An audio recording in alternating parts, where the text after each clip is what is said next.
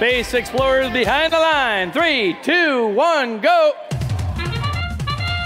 Semifinal two, match number one underway. This is the first matchup between alliances six in blue and two in red. We do see New Berlin Blitz still in the hab zone for your blue alliance. Their partners have moved on out. Same for your red alliance. All three robots have exited the hab.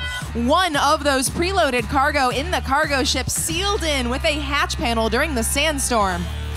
That's giving your Red Alliance a lead here, 25 to 12. New Berlin, they are still on Hab level one where they started this match. Their drive team taking a look at their control. They are able to raise their manipulator. So they're working on regaining drive. New Berlin is back in the game for your Blue Alliance.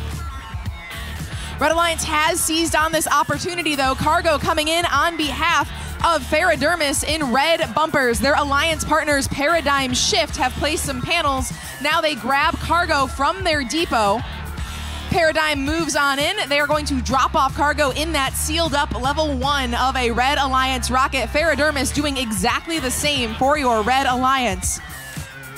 Oriole Assault, their other alliance partner, they have moved to the blue side of the field to play some defense. No blue robots around them quite yet. It looks like they are waiting for one of those blue alliance robots to exit their loading station. Now they get in the way of PWNAGE from St. Charles. They collide with PWNAGE. PWNAGE, though, does break free, and they are moving toward the Blue Alliance rocket to drop off three more points for Blue.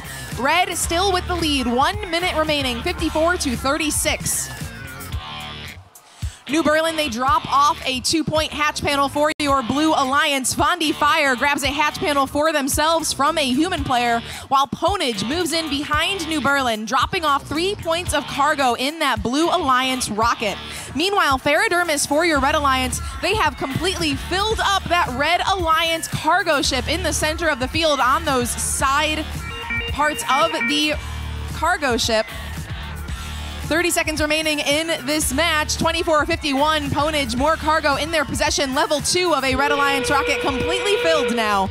68 to 56, 20 seconds remaining. A very tight match. First robot up off the ground is Fondy Fire. Ferradermis right behind them. PWNAGE in level two. New Berlin in level two. As we count down the match, we might have two level twos on each side and a level three. Phenomenal work in the hab as we count down semifinal match number two. That first matchup, your Red Alliance. Red takes it home 92 to 80 in semifinal match number two.